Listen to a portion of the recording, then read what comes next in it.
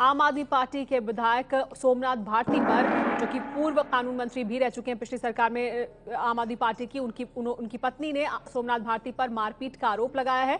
पति ने महिला आयोग से शिकायत की है सोमनाथ भारती के खिलाफ। तो एक गंभीर आरोप सोमनाथ भारती पर उनकी पत्नी ने लगाए हैं। इस पर और ज़्यादा जानकारी के लिए हमारे साथ जुड़ गए हैं एबीपी न्यूज़ संवाददाता अंकित गुप्ता।